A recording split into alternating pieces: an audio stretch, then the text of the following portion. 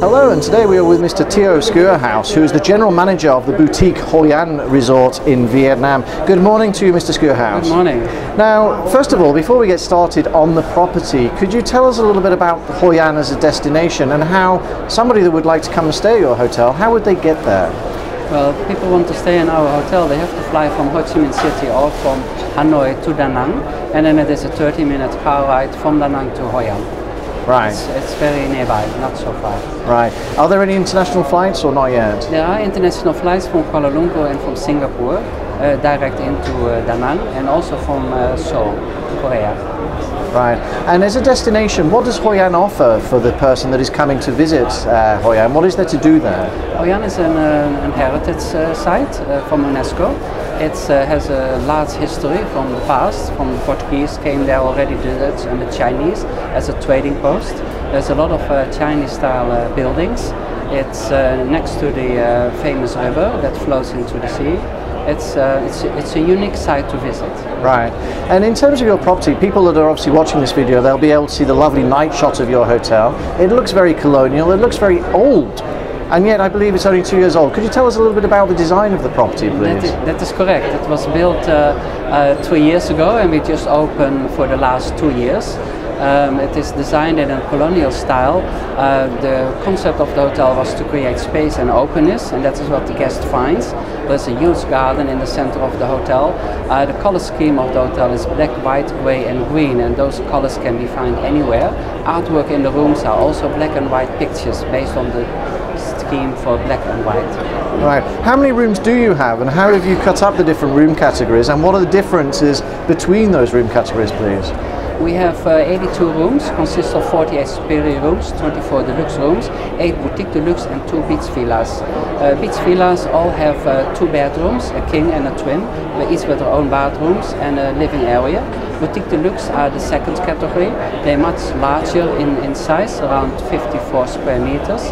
And then we have the deluxe rooms uh, situated in blocks of four, so a little bit private. Superior rooms are in two blocks of 24 uh, four levels high, and each level, each floor has an elevator as well. Right. And in terms of the, the facilities of the hotel, you obviously have a very beautiful swimming pool. Uh, what other facilities do you have at the property? We have an, uh, a spa where we have massage service, pedicure, manicure, uh, facial as well, and beauty treatments. We also have a uh, pool bar and a pool terrace, and a small fitness center as well. We also offer free Wi-Fi, the whole resort free Wi-Fi. Wi-Fi is available even around the swimming pool and also on the beach, because nowadays everybody travels with iPads and iPhones, and they want to be connected every day. So Wi-Fi is available anywhere in the resort. Right. Um, in terms of the, the, the, the property itself, are you a standalone property or do you have sisters, ho- sister hotels elsewhere? We, we are a standalone property, uh, privately owned. Our owner is from Da Nang, and we are not connected to any other chain hotels or management groups. Right. Are there any expansion plans? Do you know if the owner is, for example, looking at building more of these properties? It does look, after all, very beautiful. We actually will some pieces of land uh, next to us available, and uh, a plan has already been forwarded to the local government to uh, to develop that area in more rooms for our hotel. Yes. Excellent. Will you be expanding that more in terms of the villas, the, the individual villas, or will you be going more for, for blocks of rooms? We we expanding uh, in more in villas because this is what we need. There's more requests for the villas than for the superior rooms, especially for families who want to stay together. Right. In terms of the market share that you have at the moment, where are your guests coming from in terms of demographics? What are your top five markets at the moment? I would say the number one are the Australians, and um, the number two and number three are basically from the uh, United Kingdom, very France, and Germany. Right. And in terms of those, over the years, for example, of course, Vietnam has very old uh, French uh, connections. Uh, how have you seen the French uh, visitor arrivals change or develop at your property? From France, Yes. that is still steady and ongoing. Uh, actually, um, we have not seen much a decline from the European visitors. Uh, from the south of Europe, yes, but from the northern European, that is still steady. Still they're still visiting us. Uh, France, you know, with regards to the culture in the past, uh, France was in Vietnam for quite some years, so the French are very proud to come to Vietnam and visit it. So we see an increase in French visitors as well. Yes. Right. For, from the markets you mentioned earlier, the Australian markets and the uh, Europe, some of the European markets there, um, they tend to be long haul stays. What is the average length of stay for your guests at the moment? Average stay at the moment, if they're on a tour group, book around three nights. Three nights. Three nights, and uh, the guests from Germany normally tend to stay around two weeks because they like the beach, so they spend more time on the beach. Right. Is there any particular seasons, for example, that, that is better to visit Hoi An and not to visit Hoi An? What is the best time of year to visit? Actually, the best time of the year is year round.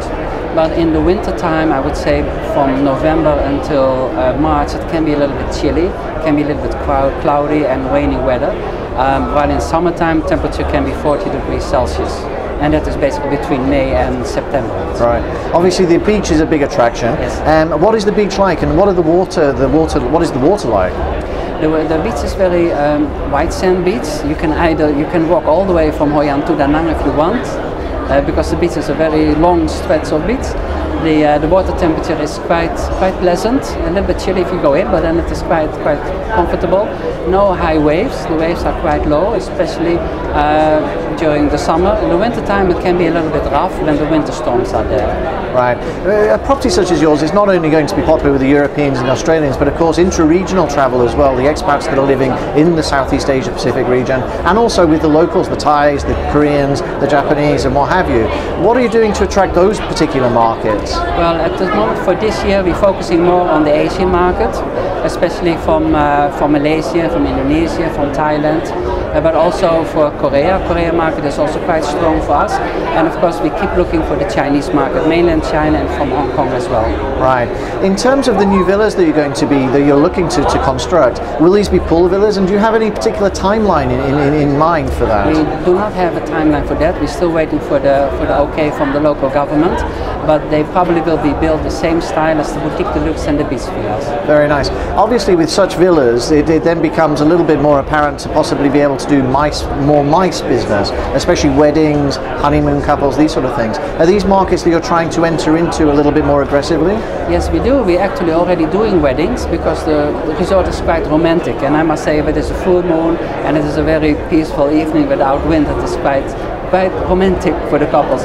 And we do weddings. We do weddings on the beach, beach weddings, and then we serve the dinner and the reception in the garden because we have a huge garden. So we're already doing that at the moment. Yes. Right. In terms of the F&B outlets that you have at the hotel, what do you have available at the moment? We have one restaurant where we serve breakfast, lunch, and dinner. We have the pool bar as well. Basically, we serve lunches there and uh, dinners as well during the evening hours. And we have room service available as well in the hotel. But room service not 24 hours a day. We have it available at 6 in the morning till 10 in the evening. Right. A lot of people in resorts like this, they're always concerned that hotels push up the prices of their restaurants and what have you. Um, what sort of prices are is are the the the the the the, the, the, uh, the is the food in the restaurant? Okay. For, for, we, compare ourselves with the other resorts on the beach as well, and we try to be below their pricing. So just a little bit below their pricing. So I think the pricing is reasonable. Um, pricing in, in town are different, of course, but being on an area as the beach, which is an exclusive area as well, and being a, a nice facility, of course, our pricing needs to be in line with that. But we try to be uh, a little bit cheaper than the other resorts that we have. yes. Right. How, do- how much developed how developed is the area that you're in? For example, can people walk out of the hotel? Are there bars and restaurants directly outside of the hotel, or do you have to travel a little bit of a distance to get to those? They have to travel a little bit of distance. There are some local restaurants opposite of the hotel, and also within walking distance there are some bars as well. But um, we know that most of the guests uh, during the late afternoon, early evenings go to town and spend some time in town because the town is very nice during the evening hours. There are lampions everywhere and there's light, and cars are not allowed to go into the center of the old town, and motorbikes are not allowed to go after seven o'clock. So it is only all the streets are just walking streets there. Excellent. As a standalone property, that means you're in charge of all your sales and marketing, distribution, everything else. What, what has made you decide to stay a standalone property rather than linking up possibly with some of the other companies, distribution model companies that are out there at the moment? Well, I must say at the moment with our sales and marketing team and our on-site team, we're doing quite well. And in the last two years, we built up quite a, a good name for ourselves, and we have a good connection with our travel agents as well. And I must say the, the occupancy is, is I mean, higher than we expected at the moment. So we're doing quite well. So at the moment, we do not need the support from an outside management company. Right. In terms of the development of your sales and marketing, how much of your business, for example, compared 2011 compared to 2012, started coming through online channels, and how much do you envisage that changing this year in 2013? We, we have seen an increase in our online on bookings from the on, on, online travel agent. We have seen that, especially in the last six months, and of course we hope to continue with that because that's a very important source of uh, of income for us and bookings for us. Um, the reservations from the travel agent always will come forward to us, of course, and also the direct bookings direct on our website that also increased. So we see a trend there that that is increasing, and we hope that that can continue in the next 12 months as well. Right. In terms of mobile applications, it's a hot topic at the moment. Everybody's looking at mobile applications. Is this something that you all, you have already created, or is it something that you're going to be doing we, we're looking into that. We have not done that as yet, but we're looking into that, yes. Right.